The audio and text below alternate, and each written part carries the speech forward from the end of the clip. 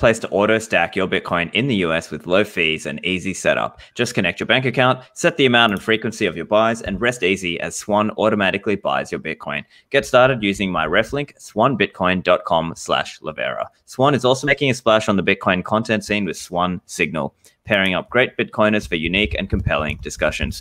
Broadcast live every Wednesday on Twitter and YouTube, also available as an audio podcast. Recent and upcoming shows include Samson Mow with Parker Lewis, Lyn Alden and Jeff Booth, Robert Breedlove with Cory Klippsten. There's a bunch of great shows in the archive. Go and check them out. That's youtube.com slash swansignal and audio at swansignalpodcast.com. Next up is Unchained Capital. Bitcoin native financial services. They're building products and services on top of multi signature. And regular listeners already know you can bring two hardware wallets and use the website to create a vault. But if you need some more assistance, they're now offering Vault Concierge onboarding packages and assistance with that. So if you're one of those people who's not sure how to set up multi signature and you want a hand, well, Unchained Capital can guide you through that process. And they also offer loans. So if you need USD, without selling your Bitcoin, well, this is an option. You can put up some Bitcoin as collateral. So go and check them out. They've got incredible content. Uh, I've got some recent episodes with the guys as well. If you're interested, go and check them out at unchained-capital.com. Next up is New Brighton Capital. That's for all my Australian listeners. Did you know you can buy Bitcoin with your superannuation? With a Bitcoin friendly, self managed super fund, you can. Step by step, written and video instructions are available with live ongoing support. New Brighton Capital has streamlined it and made it easy, fast, affordable, and you still hold your keys. As long as you're comfortable making the investment decisions, New Brighton Capital looks after the accounting and reporting for the fund. So for a free 20 minute consultation, go to newbrightoncapital.com and use the code Livera for a credit off the monthly fees. So that's newbrightoncapital.com, helping you own Bitcoin in your superannuation. All right. So I'm just bringing in my guests now, Rootzoll and OpenOms. Welcome to the show. Hi there. Hello. Hey guys, so uh, look, I, I I know a little bit about you, but do you want to just take a minute and tell tell a bit about yourselves to the listeners? Yeah, sure. Um, so um, I have a background um, as a computer programmer, studied that, uh, and and even after, after my studies, I was uh, was was a little bit curious. Like, okay, now studying is over, was great. Um, I will work for money. So I was always interested what is this money? So, so it was uh, always a question, and, um, and then later I discovered Bitcoin, and it put me deeper on that on that mission. Um, I had a history like a U.S. startup once, so like ten years ago. So saw a little bit from that perspective. Then worked in open source, open education uh, software, and uh, then catched up with the Room 77 Berlin crowd. So uh, that's a little bit where we located, or at least where I'm located. And, uh, and from there, like we got deeper into into Bitcoin, of course, and then Lightning came up, and uh, and and kind of Jeff from Fulmo was asking me a bit like, do you, do you like to go deeper on this? And so we started to organize the Lightning Hack Days. Um, so um, I, am always for a little bit more from the technical part, like um, like checking out the hack projects, working on the hack table, and then then even did the we did the conference last year, the Lightning conference. So so kind of uh, from from that kind of sphere sphere like the like the uh, project RaspiBlitz project developed. Awesome, and let's hear from you, OpenOms. Yeah, so uh, I just joined the RaspiBlitz project as, as, an outside contributor in, in the beginning of 2018. I have uh, unrelated um, kind of science background and, you know, been always a tinkerer, been um, in during the 2017 kind of GPU mining uh, enthusiasm, I started to build some machines and obviously very quickly, you know, uh, got into got into Bitcoin, got interested in all this, and uh, and in 2018 started to build my own nodes, starting with the RaspiBolt project, and then you know got to know the uh, the RaspiBlitz, which I, has been uh, you know absolutely been blown away by, and then um, you know started to want to have my uh, well build it on on machines which I had owned already, so that was different from the Raspberry Pi, and then also you know put some services which I wanted to use. So basically, uh, started to contribute, and you know from that, it's it's it's, a way of learning for me, really a, a huge journey of uh, you know getting experience with all this and the related services. Yeah, and can you tell us a little bit about how RaspiBlitz got started? Why was it started? Mm-hmm. So uh, it started with the uh, Lightning Hack Days we were doing because we, uh, it was like in, initial it was a let's get the people together that we know from the Bitcoin crowd and let's try this Lightning thing out. And it's always the best experience to try something out to get your hands on. So no, no not just talking concepts, that's great, but but also like okay, we really want to learn how to run a node, how to be part of this infrastructure, how can we build this infrastructure, what learnings do we do need there and then we started on the first hack. We started with the um, with a tutorial from Stadicus for the RaspiBolt. That was kind of a tutorial where you go go through line by line um, Linux code and you set up your your Lightning node on a Raspberry Pi. And this was a great start, but we quickly learned that this takes a little bit long time to to really do this. It's great if you really want to know the details, but um, but really to get your node ready, we wanted to speed up things. So we started to put it in, into shell scripts and try to ease a little bit the pain points uh, for people during development so that they can a little bit quicker get to the point, have their node running, and then can more experience what it means to run a node and manage a node. And uh, this was a little bit where the, like, I think on the second hack day or something, we had the kind of first shell script uh, set up there. And this was the beginning of the RaspiBlitz project. And and and I have always have to say like thanks for for Fulmo, always giving me the time to concentrate also and and and, and keep on experimenting and making it better. Um, so it grew over time, and people started to con- contribute it also. So a lot of ideas came. So we were seeing like, oh, we need to fix this, or we need to make this better, or can you make uh, we, can you add this code maybe to to the code base? So it started from the beginning like like a community project uh, that we try to keep together. So we have other people contributing to the project. It's not just kind of me or OpenOMS. There's also Frankie. There were other people in the past that were were uh, on the project. Uh, yeah, it started from from this community perspective and grew over time. It's the code base is now about two years old. So um, yeah, there's a lot of develop there.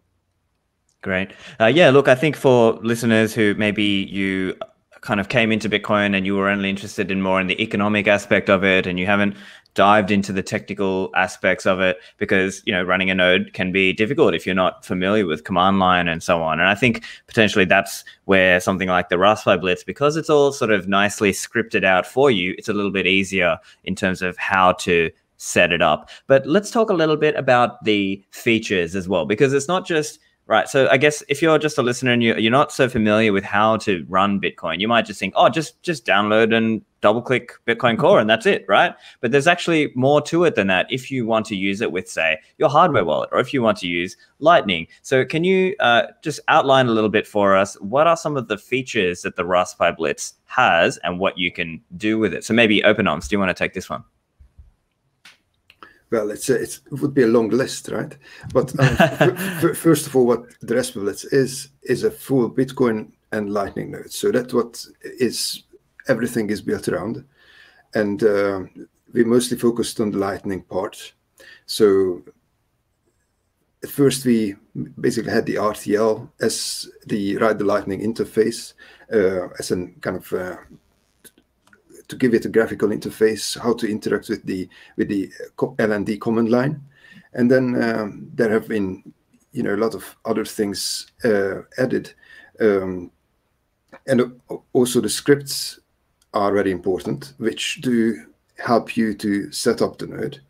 Uh, so there is a streamlined process of uh, generate a wallet, back up your seed, and then uh, sync the uh, Lightning wallet to, your, to, to the blockchain, and then it gives you some security features of uh, set automatically backing up your uh, static channel backups, for example, and also gives you uh, options to backup update and also um, to migrate over to to another node, for example. So uh, the, these yeah. these are the things which which we added, and then you know a lot of other projects we, we started to kind of uh, merge in, um, starting from, for example, the Lightning Loop service, um, or now we have other interfaces like the uh, ThunderHub project, which is another uh, very cool um,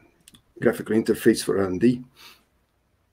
And I, there is a long list. I don't even think I can just, uh, you know, can go through it like that. Um, it's hard to sum up, yeah. yes, it's it's it, you can see basically every, everything in the menu, um, and then there are things which are connected both to Bitcoin and Lightning. For example, like BTC Pay server, uh, which is you know based on both, and then um, yes, re recently we have added join market as well, which is more like the you know the on-chain part.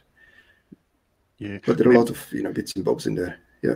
Maybe start a, to start a little bit from from because there are a lot of names of projects, so it's a little bit hard to to maybe sort them out. Maybe start from what you can see first. So it, it's a it's it's based on a Raspberry Pi, right? So you already said you can run a full node on your laptop, but the idea is really, really having an always on device because uh, with with Lightning, especially with Lightning, uh, you want to be a if you want to be a routing node, you you need to be a constant part of the of the of the infrastructure. So you have to have your node kind of running all the time. That's it could be it, it's okay if it if it's off for some time maybe, but the longer it's on, that that that better. So you need a dedicated device. This is why we're building on a, on, a, on a, such a computer like the Raspberry Pi because it's quite cheap but gives you enough power for it. That's a lot of node projects do that now nowadays.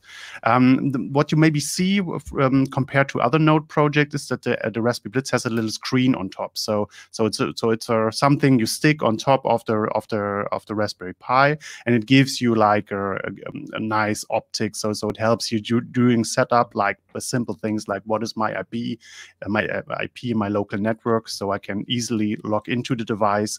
Um, and and from there it takes you into all the software part like setting it up, uh, setting it up. So um, at the moment the Raspberry Pi uses SSH to um, to for the setup and and interactive process. So um, you have, it's a little bit you have to open a command uh, line interface like a terminal, and then you just type the little uh, command in there that is on the uh, on the LCD display, and from there it kind of tries to picks you up. Even it's all ASCII and it looks a little bit maybe like your interface in the 90s, uh, but but it but but it really takes you from there, and then you make your basic setup, and then you have all the other apps you can can can put on top of it, and there are then even web UIs like RTL and ThunderHub, like OpenOMS mentioned, then will give you a little bit more like a more easier um, like an easier a screen like you know from the browser how you can manage your node and yeah from from the feature set there's there's there's so much uh, it's really hard to to to put it together but let me let me let me go through the list a little, little, quick. You have those web UIs like RTL and ThunderHub. You have a block explorer that you can run, so you can run your own block explorer of your on your on your RaspiBlitz.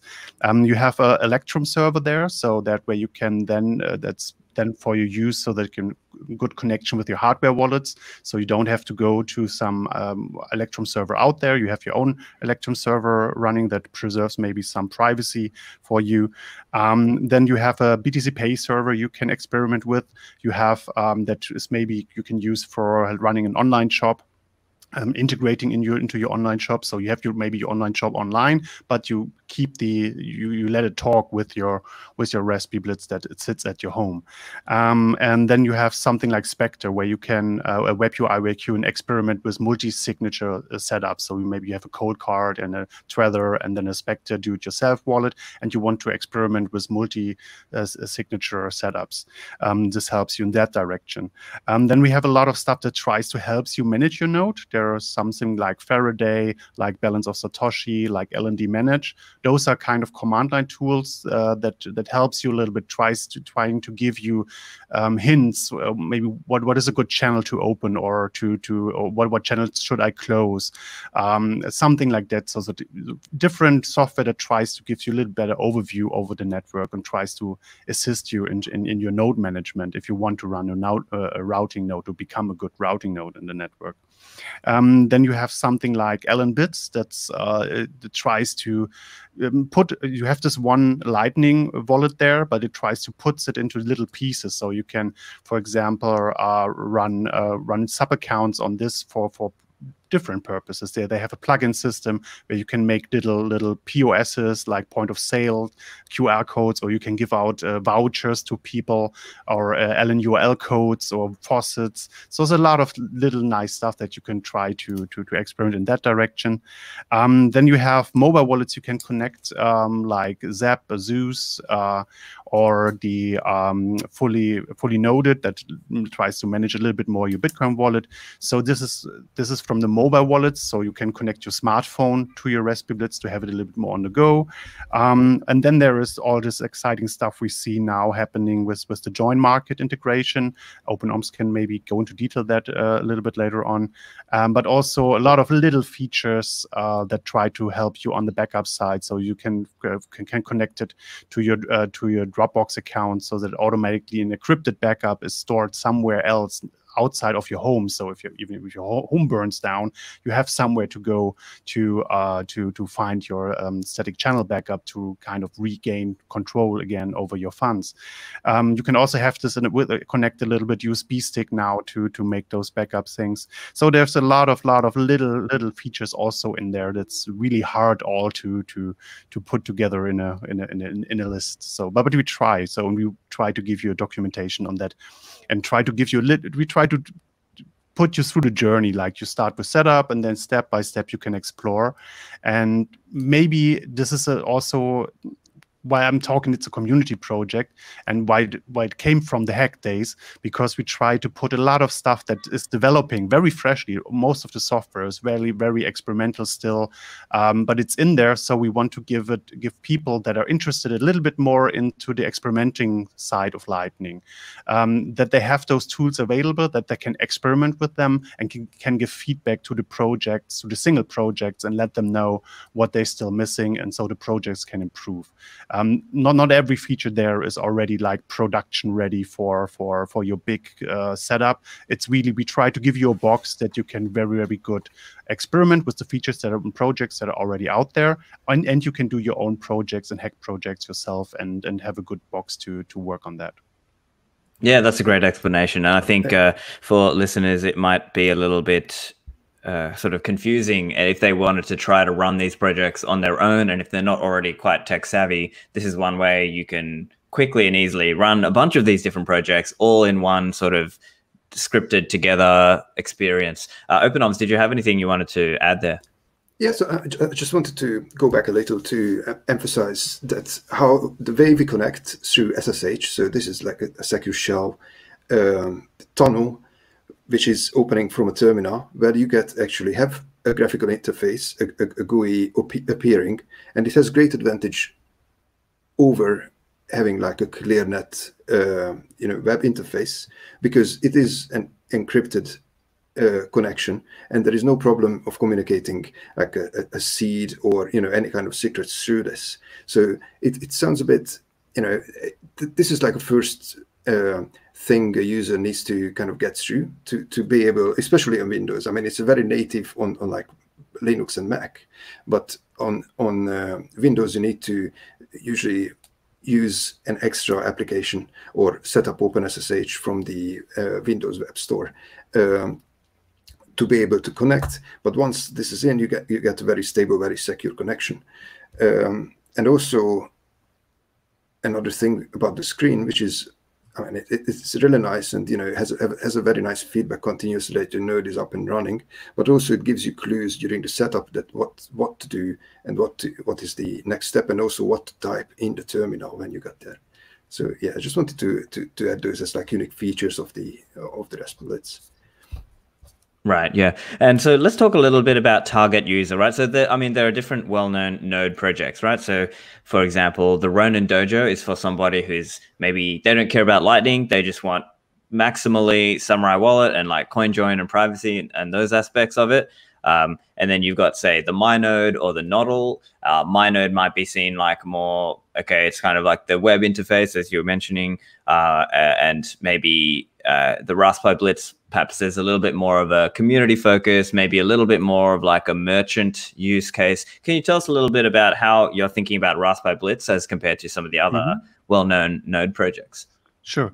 Um, I hope I don't mischaracterize another node project. So, but but but as far as I can see, for example, the um, like you have with the Nodl, I think it's a very solid box. It, it doesn't try to do all the things, but it tries to do some things really good. And I think it's it's a it's a good thing to go if you're more like a merchant and you want to be self-sovereign there on that side and have a good physical security and all those little details. I think there is a good direction to go with the Nodl.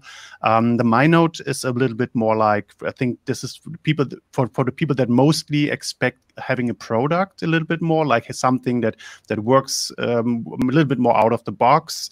Um, I think you can have this with the other, uh, of course, with RaspiBlitz too. But but the the MyNode comes a little bit more from that perspective. Tries to picks you up with the web browser from the beginning and has like a, a feature set that where everything is well packaged um, and and uh, so so you can also try a lot of stuff out.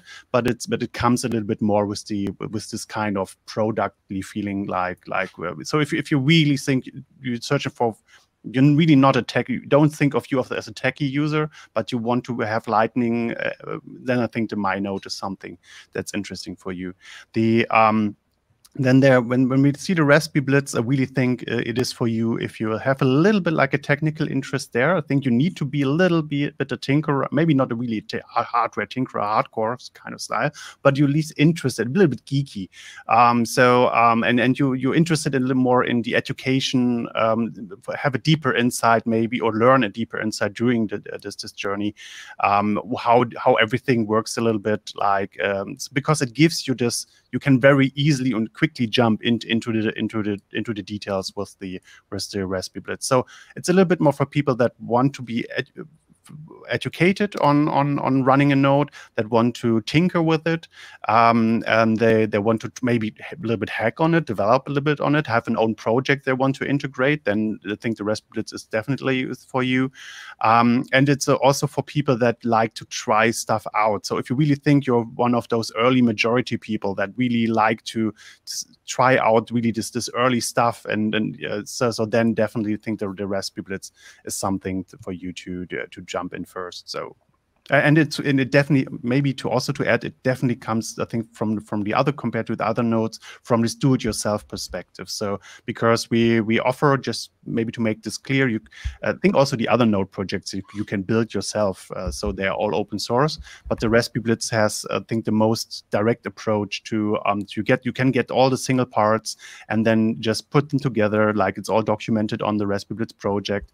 Uh, we have a shopping list there uh, that you can on, on, on get all the single parts and then you put them together and we try help you step by step to get it running yourself. So think from the do-it-yourself perspective also the, the RaspiBlitz is the most kind of prominent even if you even if there's possibilities to buy it kind of already assembled and a little bit more ready to go if you know if you're just interested in uh, getting the software running and trying the software out Great. So perhaps we can just summarize that as saying this is very there's a DIY feel around RaspiBlitz, and it's very much around taking part in the different projects that the community, the quote unquote Bitcoin community has. That there's a lot of different projects that you can try those as inside your RaspiBlitz, and you can either build it yourself or you can buy a pre-made RaspiBlitz. Uh, and so let's talk a little bit around uh, keeping you know security of the node. And I think OpenOMS you're touching on some of this as well, where at the from the very start you have to SSH in to the box, and it's not available over just kind of the home Wi-Fi, if you will. So can you tell us a little bit about that and uh, what what are some of the things that we should be thinking of when we're trying to secure our Bitcoin node?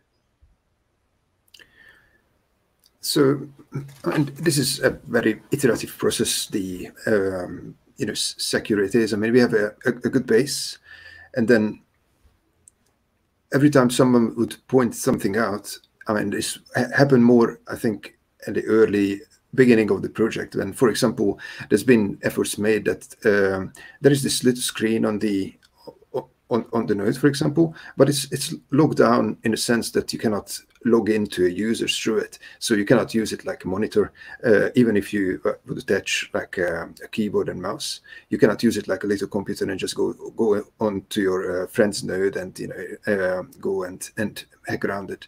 Um, but um, it's starts from setting up passwords, for example. So, so you flash the um, SD card image, which is provided and PGP signed by by Rootzoll, uh, or you know, if anyone else would um, give out um, an SD card image, that would be an expectation to do. Uh, so you could verify that, or you could even just uh, build the SD card and the scripts from source. So you can just, there is a script which you can run, which is run when we are building the SD card image. You can do it for yourself, so you do, absolutely don't need to rely on that either. Um, and when you first log in, so the screen will show you the IP address where to where to initiate this SSH connection. Um, and then there is a default password, which you need to change and the first login. So you cannot you cannot do anything else. You're logged in on the screen until you give your own password, which will change the passwords for all the Linux users uh, on, on the on, on your node. And from that, from then you can start to set up, and only then you will be coming to the steps where you set up your Lightning node, and you will be giving a seed. You will be getting given a seed, and uh, etc also you have you know more you will have more passwords to note.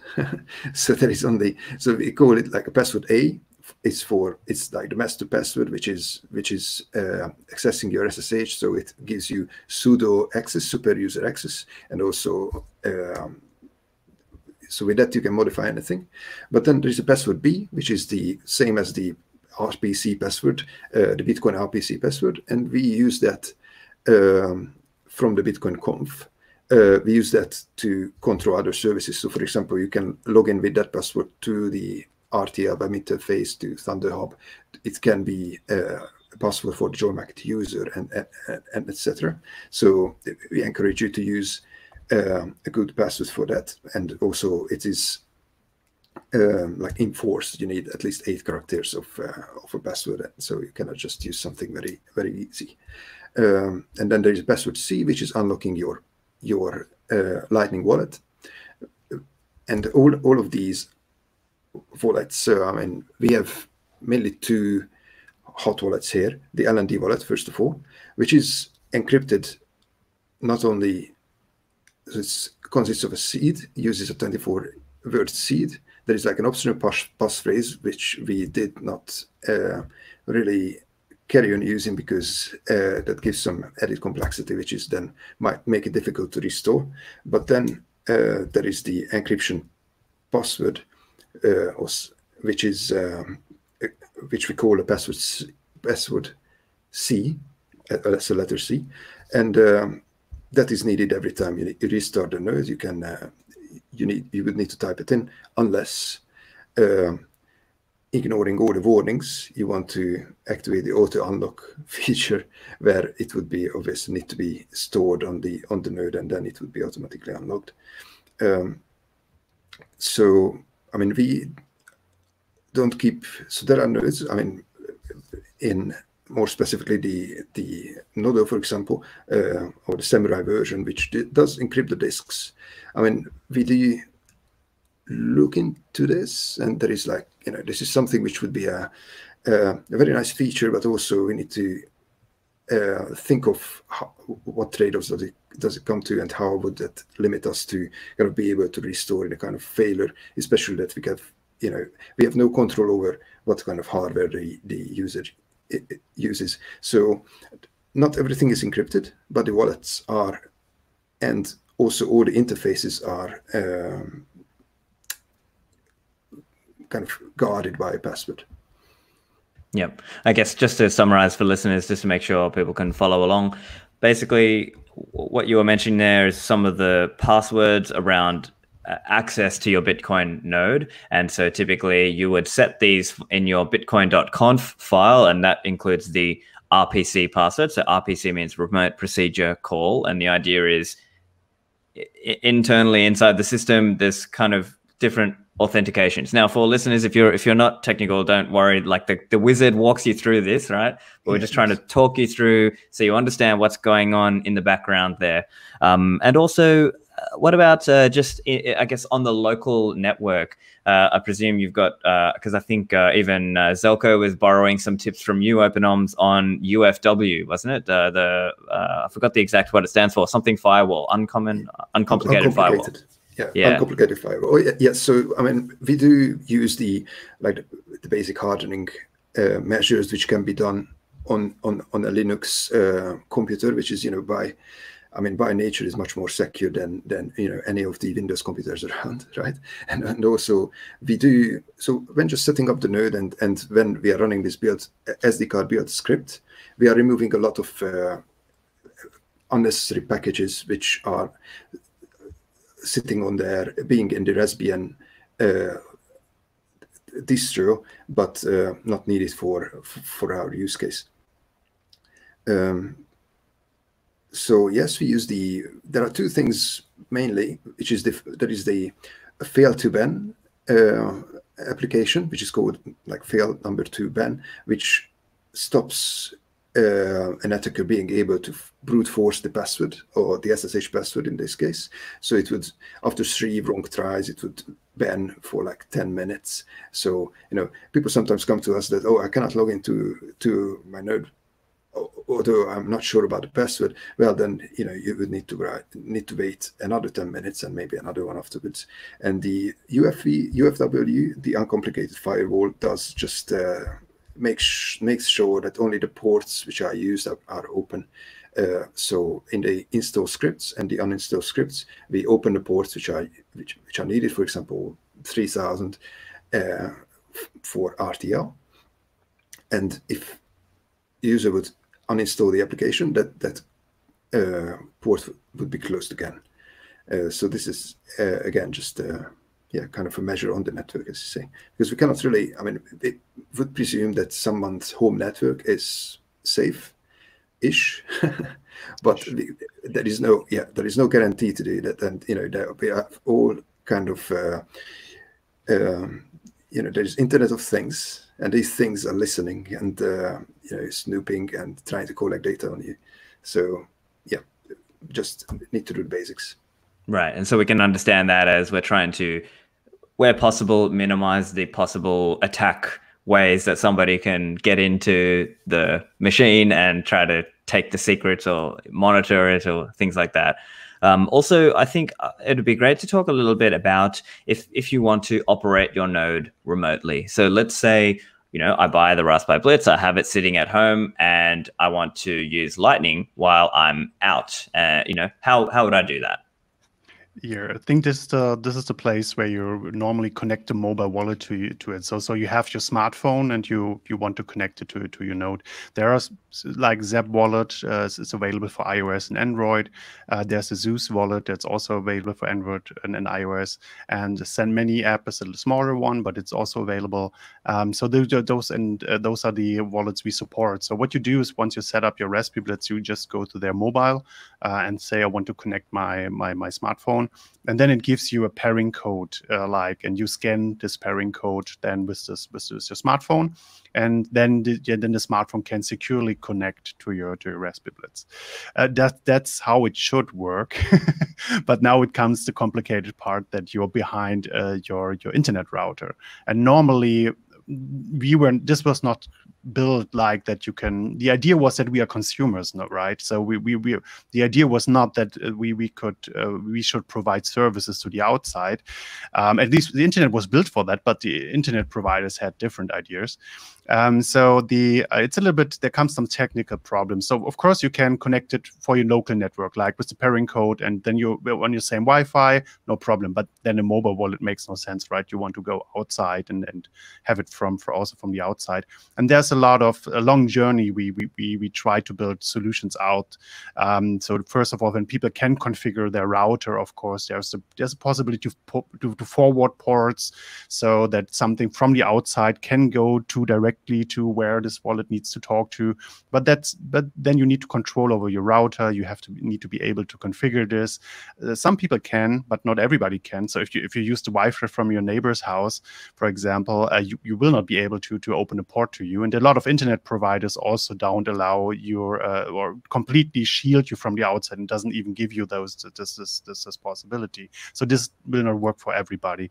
So then there was the idea like. Um, why not use Tor? So so you can mm, it's it's the idea that you can run the complete RaspiBlitz behind Tor, and then also this this uh, wallet can get gets a hidden service address like a port address, like you know from various uh, Tor websites you can call. And the good thing is those addresses are then reachable. They they kind of tunnel through your router. Like Tor has this this can do this. So but then you your mobile wallet can just talk to this Tor address. Um, some mobile wallets uh, try to integrate Tor now. So Zap Wallet tries to do this. Um, other wallet you can use with a proxy program that you can have on your smartphone. Um, it's a little bit hard to set up, even on my smartphone. Sometimes it's it's, it's, it's a a bit of pain uh, to to get this working. So this also is a step better, but still it's not the not the not the easy out of the box solution for everybody still. Uh, so so where we were going now a little bit more is into this uh, developed a service called IP2Tor. So um, this started on on one of our hack sprints uh, as on our, our, online events of the hack days. Uh, the idea came up, and also like Stadicus that built the RaspiBolt tutorial in the beginning and was building on the on the uh, Shift Crypto uh, Bitbox base had also this idea: how can we make it easy? Maybe we can use Tor to get out to get easy outside of the router uh, and, and use the anonymity that Tor gives you. But then to the outside world, we can we can there's a service somewhere that then gives you a, a public IP, like rents you out kind of an IP and a port address. And once you have that, you can very easily like when you activate that, you can very easily like just a QR code scan it, and then wherever you go, your phone will be able to to connect to your uh, to your RaspiBlitz. So this is a way not just for, for for the mobile wallets, but this is one of the first applications where you can see the benefits that um, that this kind of service now integrated can help you out a bit on, on, on to make it more easy and so that you don't need to do all this configuration part on your infrastructure. And even if you're not possible to do this, that you have a way out and an easy way to do this. Um, but, and I here have to warn, it's uh, it's a subscription service. So this is something then you you pay for.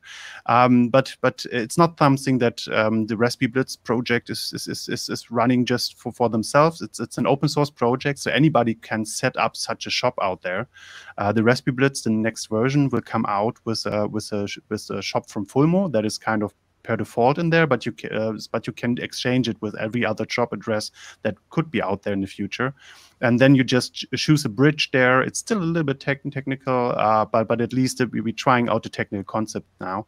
And then you can really just pay this for for a day, like you paid 40 satoshis for this, right? You, the good thing is we have a Lightning node here, right? So so you can pay services around that that gives you additional infrastructure. You can make make, make payments there very easily to to rent such services, and we can make very small transactions now, like 40 satoshis for for for using it for a day. And then it can uh, then it will automatically make the recurring payments if you really like if, if it's working for you so try it out for one day. If it's not working you cancel it. Uh, but if it's working for you you can keep it running and it will kind of make little small micro payments in a subscription base to use this infrastructure. So you have not a lot of upfront risk. You also have and the good thing is about the service uh, we like a lot is it, it, it you're using Tor, right, to connect to it. So you're an, uh, on a non-site there. So nobody, we, we don't know who you are. We just see a, a, Tor address we should forward the traffic to, or we as running the shop at the moment. So and and then you pay with Lightning, and we also don't know who pays us. We we just see we got paid, and now for a service to to to to um, forward those traffic to RaspiBlitz to, to this one Tor address.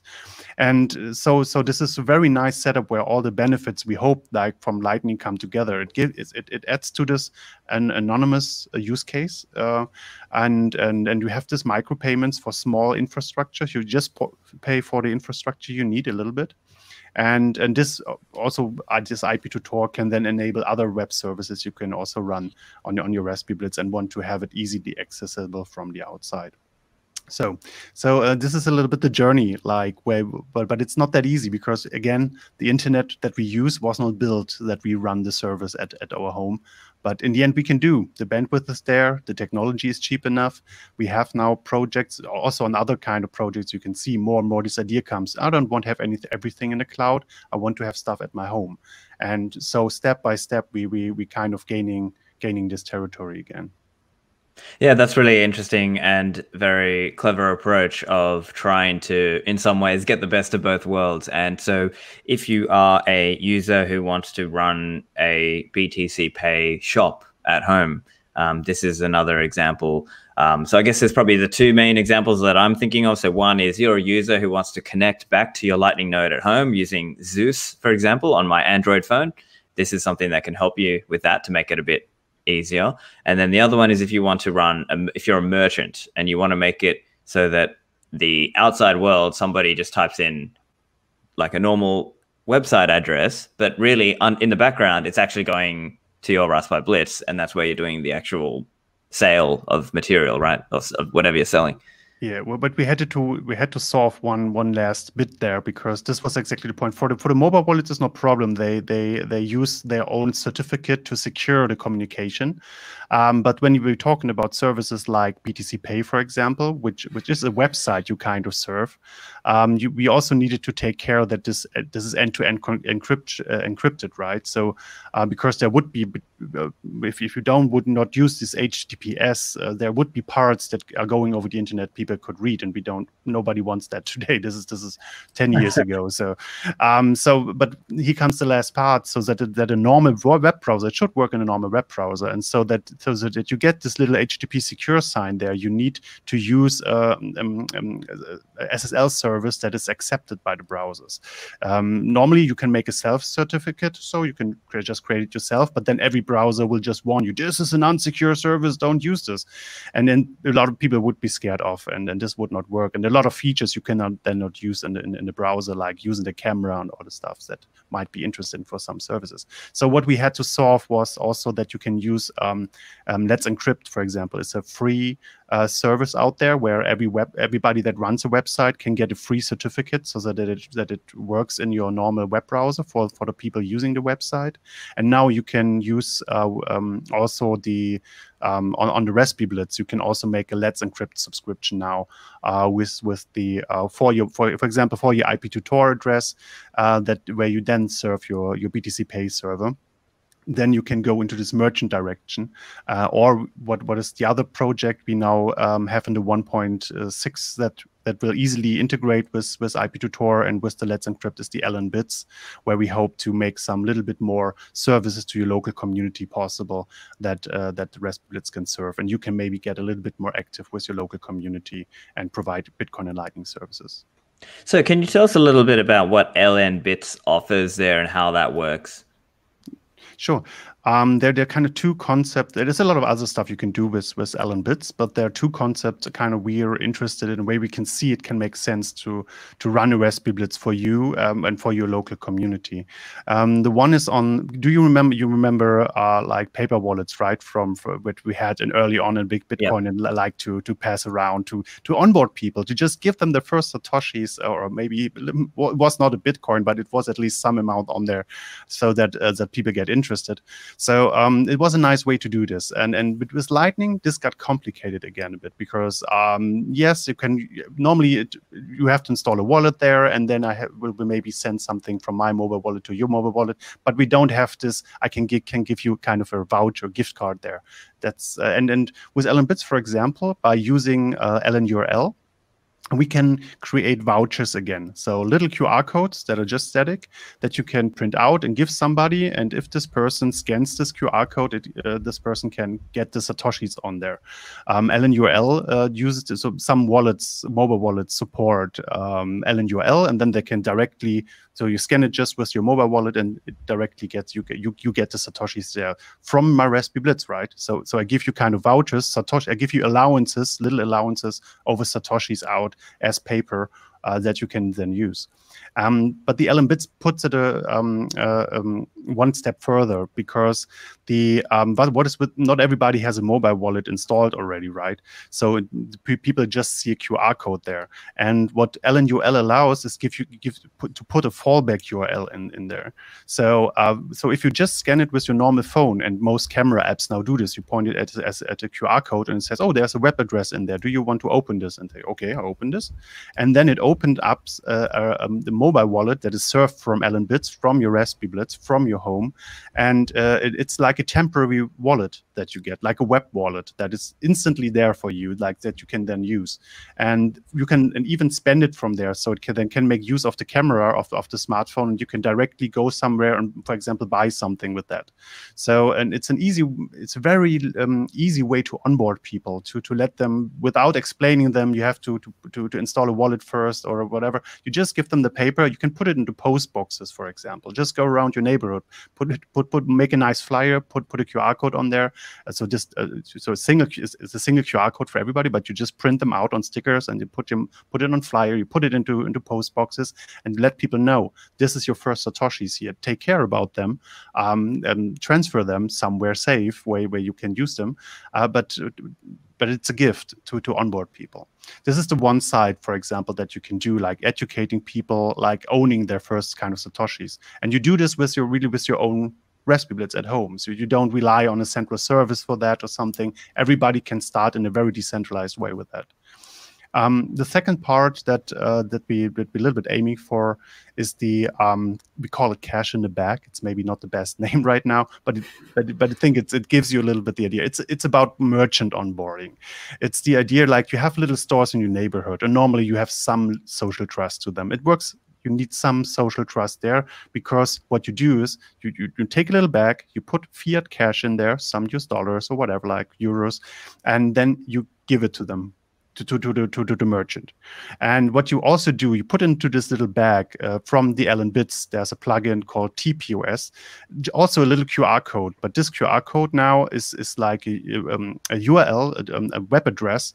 And when, when, when the merchant just scans this at, at the store, it opens a, a, a point of sale um, UI in, in the web browser, just a, just just as a website. So no app needs to be installed. So if somebody comes to the store and wants to pay now with Bitcoin, the merchant remembers, oh yeah, I got this bag here from this friendly guy I like, and uh, so so yeah, you want to pay with Bitcoin? I take the bag, I, I, take out this QR code, scan it, and now I have the point of sale in my store. I present, uh, I type in what what the customer has to pay. I present it to the uh, to the customer. The customer then scans that, pays that, uh, pays that invoice that that was created. But this Bitcoin is now not going not going to the merchant. This Bitcoin or satoshis are going to your RaspiBlitz. But the merchant now can just say, okay, there was five US dollars, for example, that you just paid. I see it got paid. And now I'm allowed to open this bag and take the fiat out, like the five US dollars, and put it into my normal register. So nice thing here for the merchant, nothing changes. The, register stays the same, the whole process, the whole bookkeeping stays the same.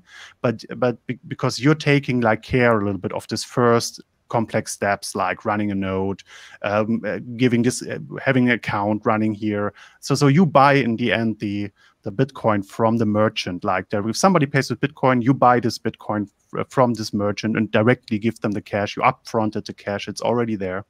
Um, and this this makes it very easy thing for people to to get started. It's not a solution to onboard merchants with large volumes, but it's something where you can get started, so a merchant can can try it out without risk because you upfronting the money, right?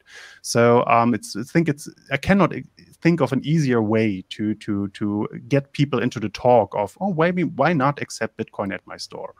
And um, so these are two things you can do for your local community then with your RaspiBlitz using the LNbits, and you can run it securely behind Tor, uh, and, but have it available to the outside with with a Let's Encrypt certificate through IP, through, through something like this IP2 Tor service. So the, the little pieces come together where we can see a good journey where RaspiBlitz can also go and deliver additional services uh, for for you and maybe why you're running a node, not just to be routing node, also to deliver some some services to your local community.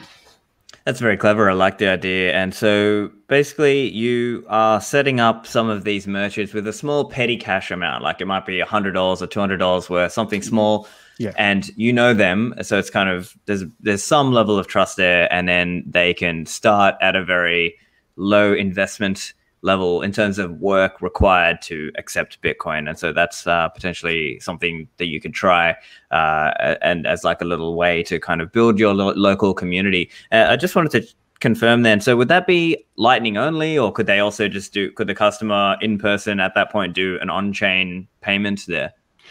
Technically there could also be on-chain payments but we don't have this feature uh, in there. So at the moment it's con- it's concentrating on lightning especially if you talk smaller amounts. If you, you can start with something like putting 20 us dollars in that in that in that in that uh, bag. So i think bitcoin transactions make sense now in, in store a little bit like feeling like from 10 us dollars. Below that we want to try out lightning. And and maybe even I think it's a good starting point. Technically, it's possible, and if somebody's very interested and said, "I I love this idea and I want on-chain Bitcoin in there. Uh, let's talk because that's exactly why this is an open source project. But we just have a limited amount of time, and I think the Lightning part was the most reasonable to start. Of uh, course. Um, yeah. yeah. And, and you know what? I think um, it, that might also make sense for when people are doing those little, you know, farmers markets or just kind of little markets where you've just got a stall and you're just temporarily setting up for a day and you might – want to be able to take lightning and you're selling small little things that cost you know two or five dollars something like that. That's probably a good example there where if you had if that merchant has say an ipad or a, a tablet and then they just use that for the website and then the customer is just scanning and paying with their whatever lightning wallet they've got that might be another way where you can quickly set up a lot of these merchants and all they need is their own phone or tablet to take the payment with and you give them the bag and off you go right and then you're kind of yeah. you're, you're starting so yeah, that's you, that's you have no you have no hardware costs, right? We normally we talk about a point of sale or something, and then you have to put hardware out, or everybody has to install an app first, and then uh, another app to install. So this is really just a QR code you give give out to them, and and, and you can have small instructions on this card, like oh somebody wants to pay with Bitcoin, go there, scan this, and punch in the amount, and I think that's that's it's very easily easy steps to follow.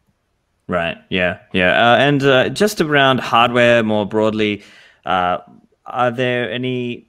I guess what are some of the considerations for a user out there when they're building a RaspiBlitz?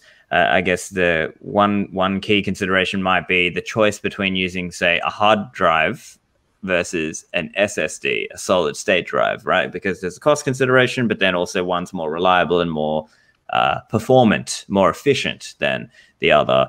Uh, what, do you have any thoughts around that that you can offer for listeners?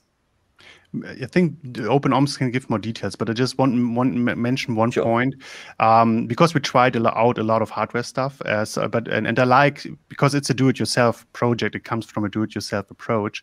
People like to use hardware they have lying around. Um, but I really want to say, take a look at the shopping list that we have on the RaspiBlitz website, because that's this is the hardware we kind of most tested and have the best best kind of feeling to to recommend to you to use. Uh, because there are some hard drives have different kind of power power consumption and stuff. But but this is exactly something where where OpenOMS can give you more details. Right. So is yeah, this mainly comes from a community. So you know, I, I like to test for myself and you know use um, a couple of things which are either lying around or you know I, I get some new new hardware. I mean, I started with a hard disk and then you know managed to be, this was before the static channel backups that managed to fail and then you know i, I lost some satoshis uh, typical story um, which you know, I mean, th this has been a donation now to the network because there is no way to recover them. I still have the pop key, you know, I can look at it, but uh, right, um, it is um, what it is, and uh, the big advantage of the SSD or the solid state drive that it doesn't have a spinning disk in there, and even it if it has a hardware, if it has like a power failure or um, and cold reset, you know, a sudden shutdown when you plug, when you just uh, pull a plug, uh, it won't hurt physically. I mean, it, and it even if it does um, kind of mess up the file system, it's usually more easily repairable, obviously, than physical damage. So for that reason, to be on the safer side, I would always use an SSD, which is also a good quality one. But you need to be, as Ritso said, you need to be aware of, of the different kind of power consumptions. And also they might need, so some of them still might need an external power source because uh, to be the most compact package, to have the most compact package, we try to power everything from the through the Raspberry Pi. So we put just one power plug in there, and then through the USB, the SSD would be uh, powered, which is you know it's not the way they are designed, but a lot of them can take this and working reliably for years.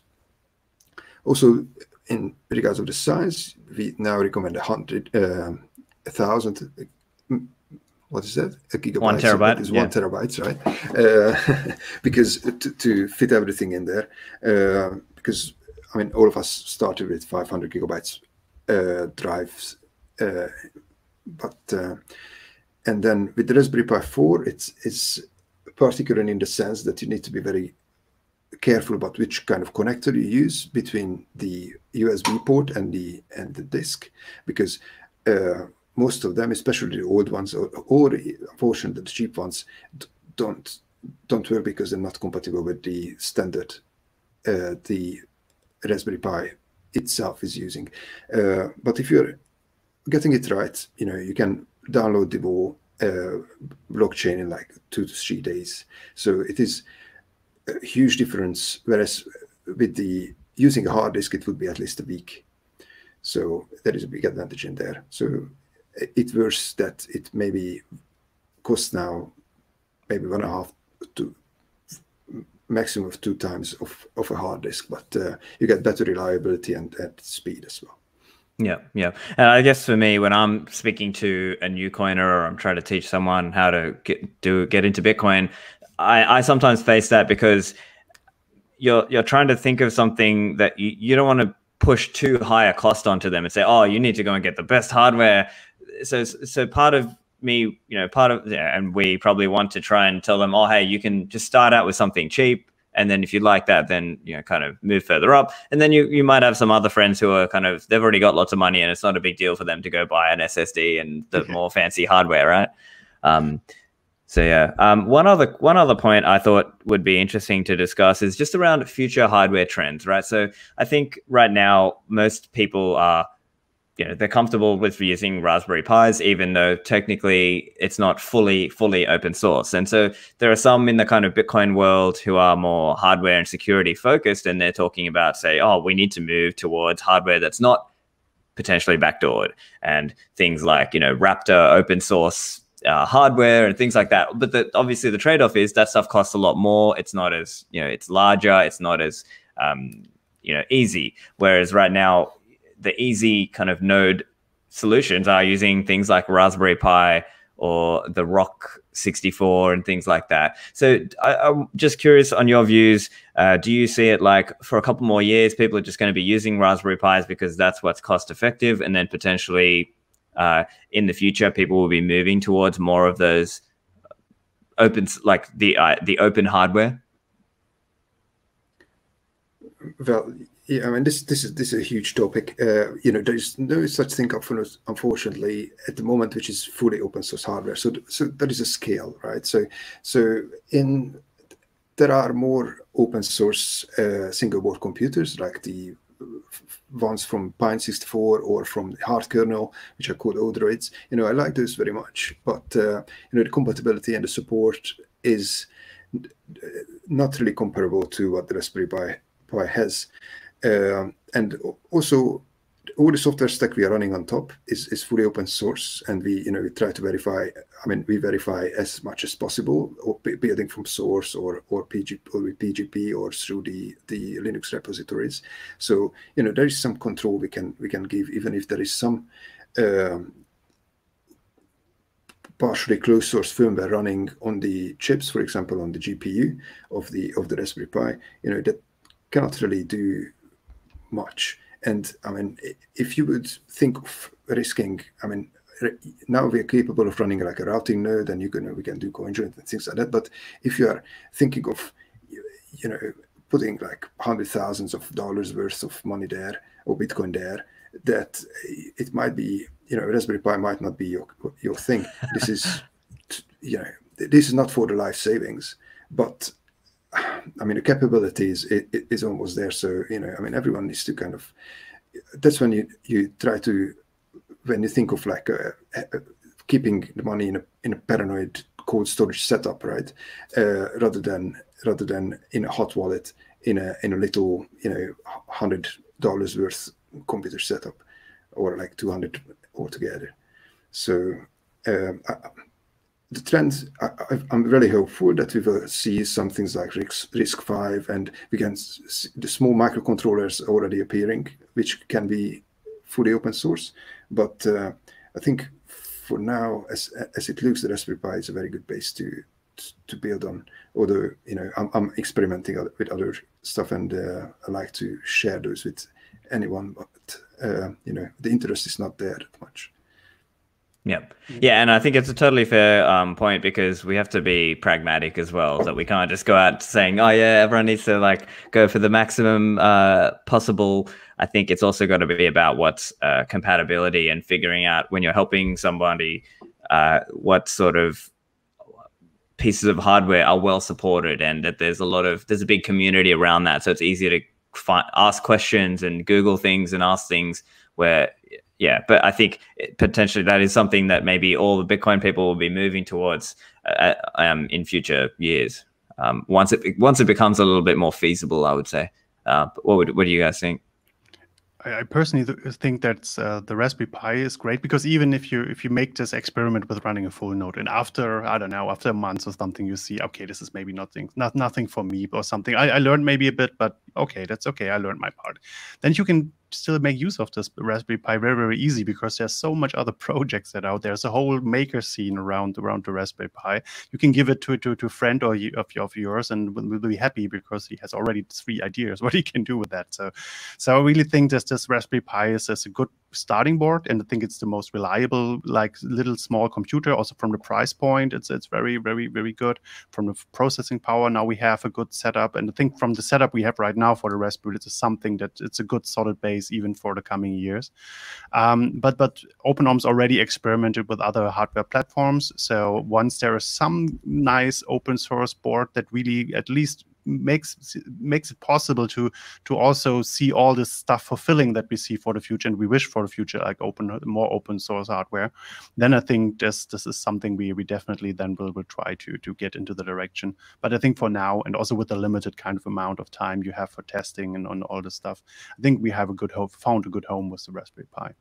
Of course, yeah, I totally think uh, it's a um, good option for people to look at. So, uh, yeah, give us the um, give us the I guess the pitch. Why, if somebody is a listener and they haven't set up their own Bitcoin node, why should they, you know, try RaspiBlitz? Oh, when you haven't put up your node, I always say like we know uh, not your uh, not your keys, not your Bitcoin, right? So I always like to say not your node, not your rules. So there's there's uh, at least having the experience. I think not everybody needs to run a node, but but I think everybody should at least make some, especially if you're now in, in, this early Bitcoin scene, you you really like the avant-garde of of, uh, of of a technology. We all hope that will be get get more mainstream soon. Um, then then I think it's it's a good education to to learn what it means to run a full node. Even if you just to install the, the, the Bitcoin Core for, for, on your on your laptop, that's also a good start.